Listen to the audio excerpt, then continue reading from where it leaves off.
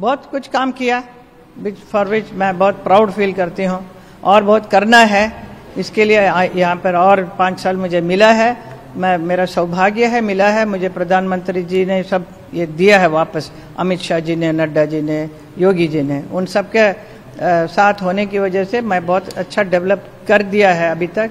अभी बाकी कुछ है लाइक चौरासी कोस परिक्रमा, यमुना का शुद्धिकरण गर्ल्स एजुकेशन के लिए कुछ सेंटर्स बनाने हैं प्लस कल्चरल एक्टिविटीज़ के लिए यहाँ पर बहुत अच्छा थिएटर वगैरह बन गया है, उसका स्टार्ट करने का आरंभ होगा। तो हमेशा there will be lot of cultural act along with भगवान का दर्शन मंदिर में जाएँगे साथ साथ में evenings they will have pleasure of watching beautiful shows और उत्तर प्रदेश में आप कितने सीटों की उम्मीद कर रहे हैं? क्या पिछली बार जितनी भाजपा जीती थी अस्सी में क्या उससे भी ज़्यादा नंबर इस बार आने की उम्मीद अस्सी का अस्सी इस बार सोच रखा है सबने। पूरा अस्सी का अस्सी सीट मिलने जा रहे हैं मिलना मिलना चाहिए। और जिस सेकेंड फ़ेज़ में वोटिंग जो होने जा रहा है 26 तारीख को उसमें आपके यहाँ भी वोटिंग होना है मथुरा में आठ सीटों पर मतदान होना है उसमें कितने सीटों पर आप उम्मीद कर रहे हैं कि आपकी पार्टी जीतेगी?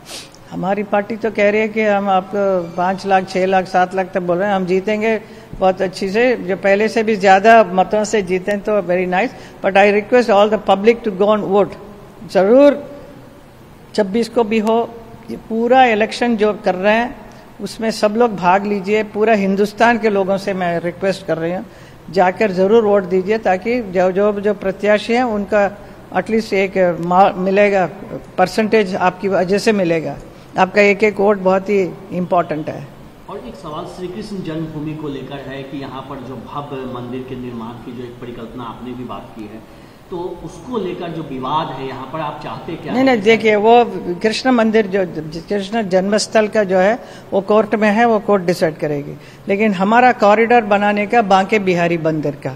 वो बहुत कंजेस्टेड है वो जगह उसका बहुत सुंदर बनाने का हम लोग प्लान कर रहे हैं। वो स्टार्ट हो जाएगा वो काम। लेकिन जिस तरह से अयोध्या में भव्य मंदिर बना था क्या आप चाहते हैं कि यहाँ मथुरा में भी उसी तरह से श्री कृष्ण जन्मभूमि पर भव्य मंदिर देखिए वहाँ पे मंदिर था ही नहीं तो नया नया शुरू किया और योगी जी मोदी जी ने बनाया है उधर।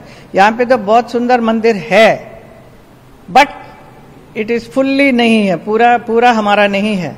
तो उसके लिए प्रयास चल रहा है तो जैसा बनेगा जैसा भगवान की आदर्श होगी वैसे ही होगा। और एक आखिरी सवाल कि इंडिया अलायंस जो है कितनी बड़ी चुनौती मानते हैं 2024 में लोकसभा चुनाव में भारतीय जनता पार्टी के लिए कितनी बड़ी चुनौती है? सी चुनौती से चुनौती you should not take it lightly जो भी चीज़ है। तो अपनी तरफ़ से हम लोग मेहनत तो करेंगे हम जीतने के लिए पूरा क्षमता रखते हैं और जीतने के लिए हमारे पास कहने के लिए भी बात है कि इतना कुछ किया है जो कुछ भी नहीं किया था उसको क्या वोट देंगे? वो भी मैं बोल रही हूँ जो, जो एनडीए इंडिया जो बोल रहे हैं हमें वोट दो कि क्या क्या लेकर बोल रहे हैं कि हमें दो? वो क्या करेंगे क्या क्या किया उन्होंने आज तक? आखिरी सवाल की भाजपा 400 पार का नारा है। 400 पार हो जाए? 400 पार होगा जी।